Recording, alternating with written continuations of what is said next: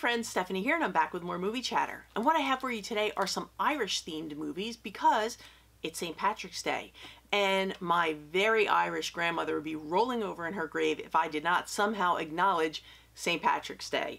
So whether you watch these today, whether you're Irish or not, doesn't matter. These are just great films that you need to check out. And I'm going to get right into it with my first one, which stars Cillian Murphy, who's riding high on his Oscar win for Best Actor in Oppenheimer. And this is a 2006 movie called the Wind That Shakes the Barley. And this is just a fantastic movie. If you've not seen it, put it high on your list to watch. And he plays a, a young Irishman, and he also has a brother and he is a medical student and he is supposed to go off to London to work in a London hospital to continue his training. And when he sees the atrocities that are going on in his country with the British invasion, he decides to stay and fight alongside his brother as a freedom fighter. And this is their story. And it's it's just a really amazing story and it's a fantastic movie. If you haven't seen this one, like I said, put it high on your list. Um, and this is one that need, badly needs an upgrade and is so deserving of a Blu-ray or a 4K upgrade. And the nice thing is it's an IFC title, which is now part of the Vinegar Syndrome partner label. So maybe, fingers crossed, maybe we'll get something over on Vinegar Syndrome because this is just such a fantastic movie. But whether you pick up the DVD or you stream it, just put it on your list and give it a watch because you will not be disappointed. Wind That Shakes the Barley, it's a good one. And this next one, I may have spoken about it before, but it's been a while, so I figured I would pull it out. Again, Irish themed. Uh, it, it was up for four Academy Award nominations, including Best Picture, Best Actress, Best Original Score, and Best Adapted Screenplay. And it stars one of my favorite actors of all time, actresses of all time, uh, Judi Dench. And it also stars Steve Coogan in Philomena. And in this one, we have a, a, a woman who, obviously, her name is Philomena and when she was a young gal, she was pregnant out of wedlock. And in those times, she was a young Irish gal. And in those times, what they would do is they would take these gals and they would send them to these convents. And the convents would then let them have the babies. The gals would work at the convents. And they would take the babies and they would put them up for adoption. And the women never had the option of keeping the babies if they were uh, pregnant out of wedlock. And she decides as an adult that she wants to find out what happened to her child when he was taken from her at the convent and when he was put up for adoption. So she contacts this gentleman who is, uh, he's a reporter, he's kind of out of work and he's looking for things to do. So he agrees to help her and we follow them on their journey to figure out what happened to this young baby who was taken from her. And this just hits all, it, it gets you in all the feels. It's going to make you laugh. It's going to make you cry. It's a fantastic movie. And uh, like I said, based on true events. And if you haven't seen Philomena, please, please check this one out because it's it's well worth the watch. And this next one, I know I've talked about this one before because it was one of my favorites of the year, and I'm I I, I can't even remember the year, and everything is so tiny on this that I can't read it. But anyway, I think it was 2022 maybe. Anyway, it stars Colin Farrell and Brendan Gleeson in The Banshees of Inisherin, and I just love this movie. I could watch it anytime, anywhere. These are two lifelong friends, and Brendan Gleeson plays a character who he just decides one day that he does not want to be friends with Colin Farrell anymore. He has no real reason. He won't give a reason. He just says, don't talk to me, don't come around me, don't come near me, and um, Colin Farrell's character is just devastated. He can't believe that his friend has just turned his back on him for no reason, no reason given, refuses to be anywhere around him. And what we follow is we follow these guys on their journey. Uh, uh, Colin Farrell trying to pursue Brendan Gleeson to find out, you know, what's wrong, what happened, what did I do wrong, and Brendan Gleeson just wanting to be left alone. And that's the journey. That's what we follow. These two friends trying to reconcile what happened and where do we go from here. And it's just a really interesting take on friendship and what happens when you're kind of done with a friendship and how do both sides deal with it. But this is a really great movie. If you have not seen it, definitely check it out. And if you've seen it, put it on your list and watch it again because it's a good one. Now this is one, I don't think I've ever talked about this one on the channel, but I really do like this one. And um, you will probably, if you have not seen this one, you'll definitely um, recognize Norman Reedus from The Walking Dead, Daryl from The Walking Dead, and it's the Boondock Saints. And this one takes place in Boston And we have two guys who decide to become vigilantes. And what they decide to do is start taking out mobsters in the Boston area. And they just start picking them off one by one. And uh, the FBI kind of gets wind of it and they start to track them to figure out who is doing all this. Who, you know, who are these vigilantes that are taking out these you know, high ranking mobsters. And it's just a really great film. I love The Boondock Saints. I have to bring this upstairs because I haven't seen it in a while. And pulling it off the shelf to talk about it here made me want to watch it again. And little fun fact, little trivia fact, is that the Boondock Saints here, this was my very first steelbook ever. This is what started the madness of steelbooks. And this is a DVD steelbook. And I remember just saying, oh, that's really cool packaging. And I had never seen anything like it before. And this is what started the Steelbook madness. So when you see my Steelbook collection, this is where it all started, the, uh, the Boondock Saints. And it's a fantastic, fantastic movie.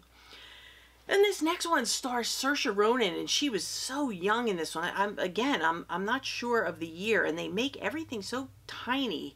It looks like 2015. I think I can actually read this one. This is a great film, and it's called Brooklyn. And if you haven't seen this one, again, put it on your list because she's fantastic.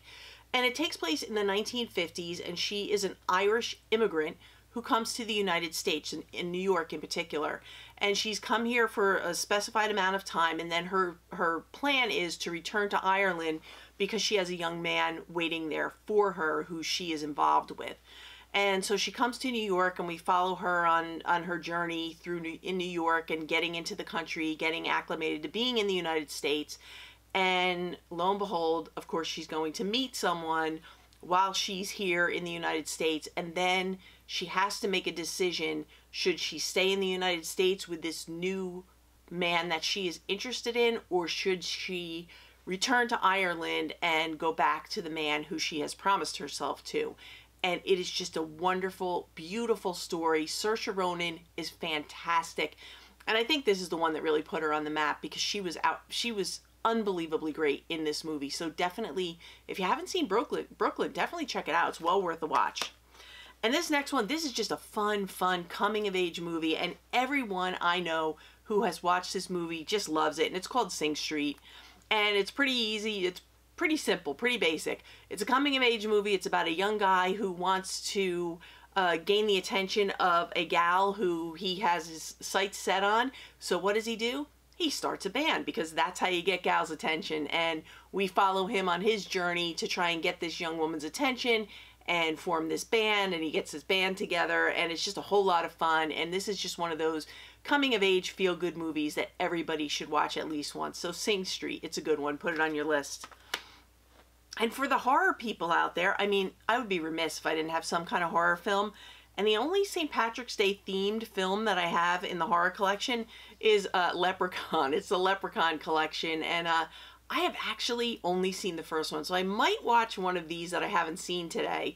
But we'll see. If you, uh, if you want to just have some good horror fun, grab the Leprechaun series and watch at least one of them. Because they're, uh, the, the one that I saw was fun. The first one, it was fun. I mean, look at him. He's creepy. Whew. He's a scary little guy. But anyway, leprechauns freak me out anyway, so why not make him into a horror film? And this next one, I have, I know I've talked about this one because I love this. It's a Kenneth Branagh film, and it is called Belfast. And I believe, uh, da, da, da, yeah, Judi Dench is also in this one. And this is kind of autobiographical based on the film writer's childhood in Belfast where the Protestants and the Catholics were kind of at odds well they were at odds with each other and it's about his growing up in a multi-generational household where he lived with his grandparents, his parents, the whole deal. And their decision trying to come to a decision if staying in Belfast is the best thing for their family because the father cannot find work so he has to travel to find work and it's just a really difficult situation that they're in. But it would mean breaking up their family leaving their home leaving the only home they've ever known and uh, it's just a really amazing movie a beautiful movie about family and also the trials and trials that people went through during these times when there were these big conflicts between the catholics and the protestants and it's also a very interesting um, artistic choice that he decided to do the film in black and white, and I absolutely love that. I love when we see more modern films done in black and white. And this is just such a great movie. And I know a lot of people have uh, talked to me and they said they have it on their list, but they haven't seen it yet. Watch it. You're not going to regret it. It's a fantastic movie. And this next one, I mean, I, I've spoken about this more times than I can count, and probably all of you have seen it, but I wanted to bring it up because it's a great Irish themed film, and it's Mark Wahlberg, Christian Bale, and Amy Adams in The Fighter, which is a true story of boxer Micky Ward from Boston and his brother Dickie, who was a boxer, but he's plagued with so many problems that he's kind of taken a step back and he is now training his brother. But there's a lot of conflicts, a lot of problems. People don't want uh, Dickie anywhere around because he's always causing an issue and it's about the family dynamics and they are wild. It is a wild Irish Boston family and it's just great. I love this movie. It's one of the greatest sports movies out there and if you haven't seen The Fighter, what are you doing? Put it on your list. Make sure you watch it. It's a good one. And this next one, of course, I had to have this on. You have to have a good Boston crime movie, and what better than Martin Scorsese's The Departed, starring Leonardo DiCaprio, Matt Damon, Jack Nicholson, and Mark Wahlberg. And I just love this movie. Again, one I could watch time and time again.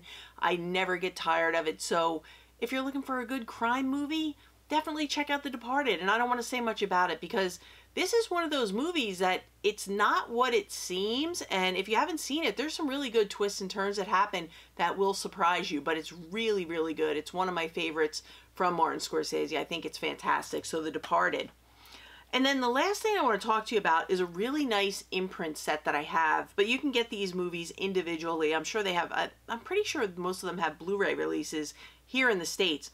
And these are movies, it's called Directed by Jim Sheridan, Four Irish Films. And this is the box set. And then on the back we have a quote from Jim Sheridan.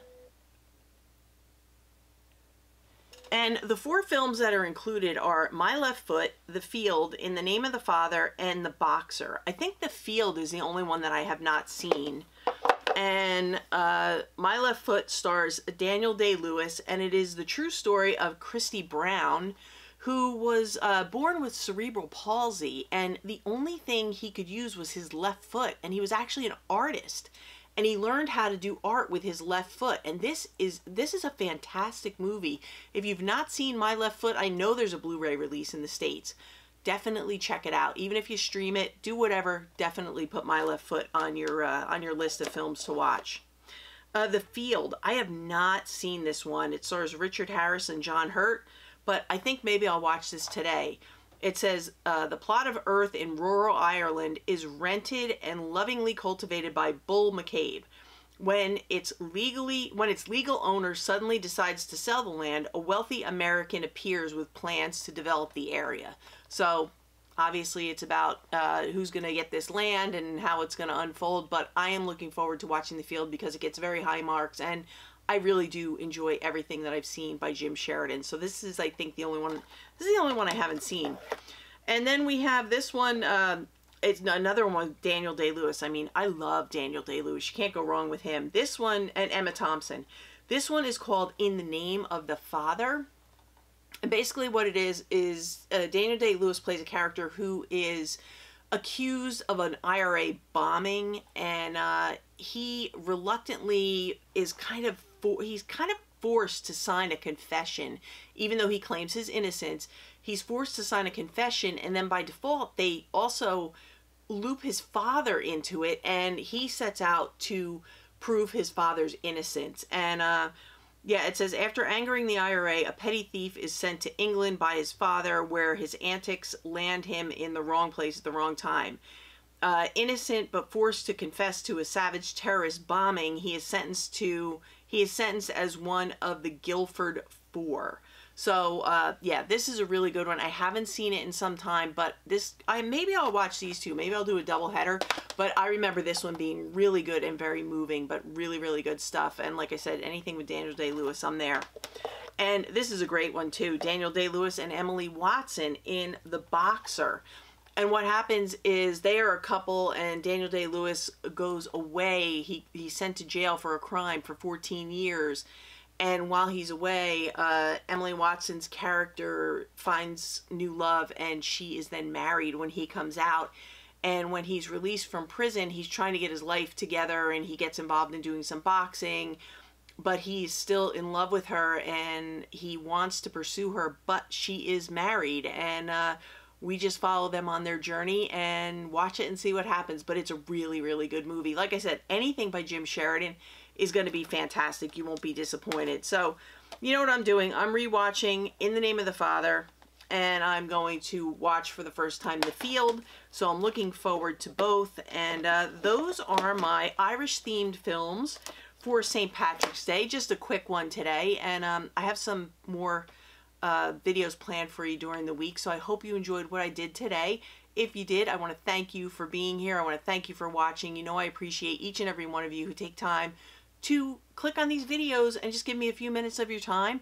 And if you enjoyed this video or videos like it, feel free to hit the subscribe button and the bell notification so you know when I upload. I do everything from film recommendations, uh, collection updates, uh, room tours, uh, hauls, you name it, we do it here. Anything to do with physical media is what we do. So that's going to do it for me today. I'm going to go and, um, I don't know, drink something green, eat something green, and watch some Irish movies. But I hope whatever you do, you enjoy the day and uh, just be safe and be happy. And I will catch you in the next one. So for now, that's a wrap.